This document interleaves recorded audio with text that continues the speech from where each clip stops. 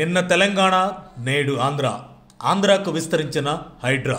తెలంగాణ రాష్ట్ర రాజకీయాలను హడలెత్తిస్తున్న హైడ్రా టాపిక్ ఇప్పుడు ఆంధ్రప్రదేశ్లో కూడా హాట్ టాపిక్గా వినపడుతుంది. ఆంధ్రాలో సైతం హైడ్రా తరహా వ్యవస్థను ఏర్పాటు చేసే ఆలోచనలో కూటమి ప్రభుత్వం ఉందా అనే చర్చ సాగుతుంది.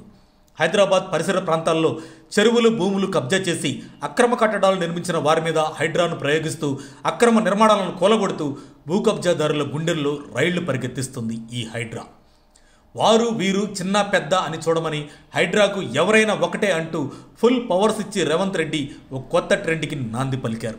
కొత్తగా ప్రవేశపెట్టిన ఈ హైడ్రా విధానం వల్ల సీఎం రేవంత్ రెడ్డికి నెటిజన్లు సర్వత్రా ప్రశంసలు కురిపిస్తున్నారు.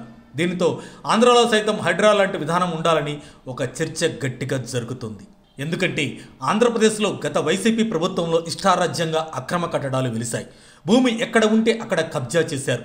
ప్రభుత్వ భూములు అంటే చాలు అనాథ భూములని. వాటి మీద సర్వహక్కులు తమకే ఉన్నాయని పలుకుబడి కలిగిన వారు బడా వ్యాపారులు సైతం అంతా ఆలోచన చేస్తున్నారు. దొరికింది దొరికినట్లుగా అందిన కాడికి ఆ భూములు మావి అన్నట్లుగా ఖర్చు వేసేస్తున్నారు.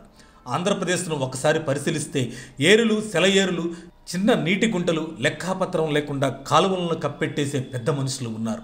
అలానే చెరువులు దిగమింగిన మహానుభావులు ఉన్నారు. ఇలా అన్నింట అక్రమ నిర్మాణాలు యథేచ్ఛగా చేసేశారు. దీని ఫలితంగా వానలు కురిసినా వరదలు వచ్చినా ఆ నీరు చేరడానికి చెరువులు లేవు పారడానికి కాలువలు లేవు.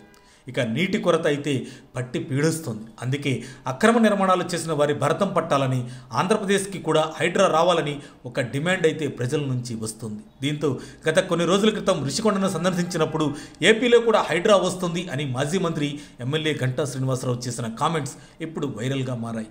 గంటాతో పాటు విశాఖ జిల్లాలో పర్యటించిన మున్సిపల్ శాఖ మంత్రి నారాయణ మాట్లాడుతూ అక్రమ నిర్మాణాలు నిర్మించిన వారు తమంతట తాముగా బయటకు వచ్చి భూములను ప్రభుత్వానికి అప్పగిస్తే వారికే మంచిది. లేదంటే మన రాష్ట్రంలో కూడా హైదరాబాద్లో సక్సెస్ అయిన హైడ్రా తరహా వ్యవస్థను ఏర్పాటు చేయాల్సి వస్తుందని మంత్రి నారాయణ హెచ్చరించారు.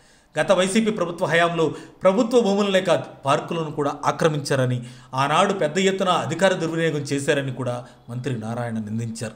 ఇలాంటి ఆక్రమణదారుల భరతం పట్టే విధంగా కూటమి ప్రభుత్వం త్వరలో ఆంధ్రా చట్టాల్లో మార్పు చేస్తుందని నారాయణ సీరియస్ వార్నింగ్ ఇచ్చారు. తెలంగాణ తరహాలో ఏపీలో హైడ్రా వస్తే ఏమిటి ఎలా ఉంటుంది దాని యాక్షన్ రియాక్షన్ ఏమిటి అన్నది ఇప్పుడు పెద్ద చర్చే జరుగుతుంది. తెలంగాణలో అయితే హైడ్రా సక్సెస్ అయిందని చెప్పాలి. విశాఖలో భూ కబ్జాలో అన్ని రాజకీయ పార్టీల హ్యాండ్ ఉంది. అలాగే ఏపీలో జరిగిన భూ కబ్జాల్లో అందరూ బడా నేతలే ఉన్నారు. అందుకని ప్రభుత్వ భూమిని ఎవరు ఆక్రమించుకున్నా హైడ్రా లాంటి వ్యవస్థ రాజకీయాలకు చట్టాలకు అతీతంగా తన పని తాను చేసుకొని పోయేలా హైడ్రా అధికారులు ఉండాలని కోరుతున్నారు ఆంధ్ర ప్రజలు.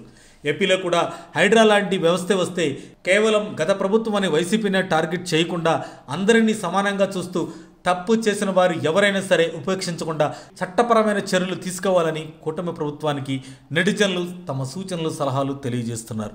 ఏది ఏమైనా మొత్తానికి పక్క రాష్ట్రమైన ఆంధ్రాలో హైడ్రా అన్నది ఇప్పుడు హాట్ టాపిక్గా మారింది. కాదు కాదు హాట్ కేక్లా మారిందని చెప్పాలి. మరిన్ని అప్డేట్స్ కోసం మా కాయ్ టీవీని సబ్స్క్రైబ్ చేసుకోండి.